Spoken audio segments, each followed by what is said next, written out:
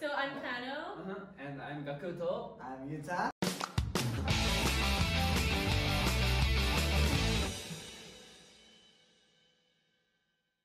じゃあ今日はですね、はい日本語では一つの言い方しかないんやけど英語ではめちゃくちゃいろんな言い方があるっていうのを紹介していくコーナーですなるほど。今日の待つっていう表現になります。待つ。夏まあこれ直訳やったら、まあ、wait。Wait Wait そう。で、多分普通に日本人やと待つうん。やから、待ってって言いたいとき、wait って言うと思うんだけど、だけどそれだけじゃないよっていうのをね。まあ実際やって俺は留学でそんなに wait 自体は使わんかった。ちょっときつい言い方 wait だけは使わない、あんまり。そう。やね、まあ、例えばその、まあ、待ってっていうのってさその一番俺が、まあ、多いと思うシチュエーションは、その店員さんにうん。決まりましたか、あって聞か。れてちょっと待ってくださいみたいな、うん。そこで wait ってさ確かに俺もウェイトって聞いたことあるのは犬に対してしか聞いたことないて待ってそれ以外人に対して聞いたことないよなないかも。うん。ウェイトを使うにしても、うん。その wait a second please、うん。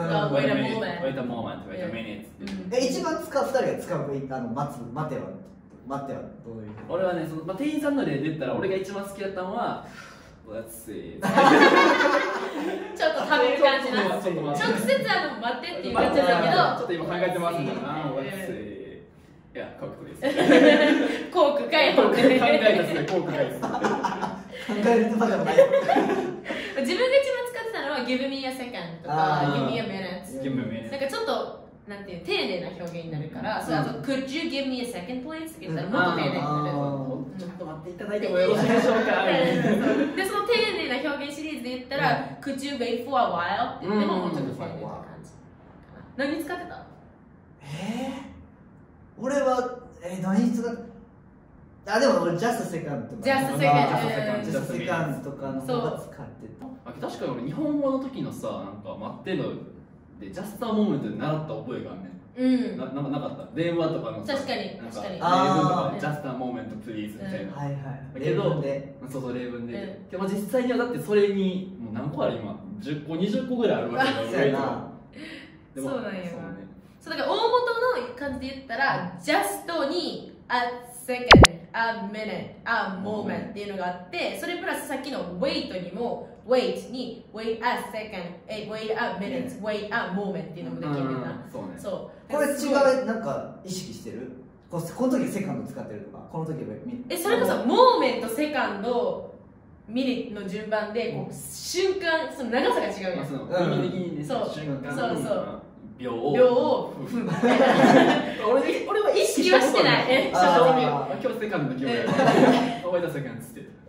でも普通にそのからかうときに、日本語とかでもさ、ちょっと待ってって言ったら、ちょっとやなみたいな時あるやん。か。うんちょっとな、ちょっとやったら待ったるわみたいな。うんそれで言って、その just a minute please って言ったら、OK, minutes ね、だけ minutes だけねって言われてるから。っていうあの英語も似たようなからかい。方もある。うん。からそれは使い分けてはないけど、そんな感じかな。でもあと俺電話とかやったらその、まあ、友達とか、なんかその店員とかの間柄じゃなかったら普通に報道とかうん。反ああ応とかも使うそうやね。電話やったら俺も。on っていうな、っていうな。どっちも待ってって確かに。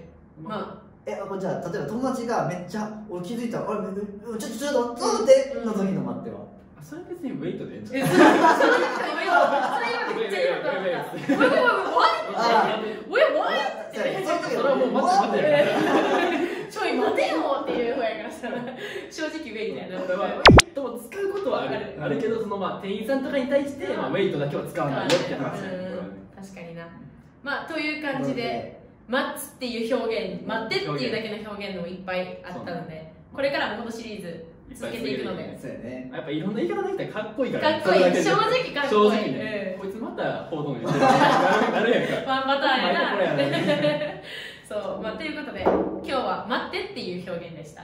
Wait a second, please. ジャストセカン Give me a second please ド PNS のこともっと知りたい人は？概要欄をチェック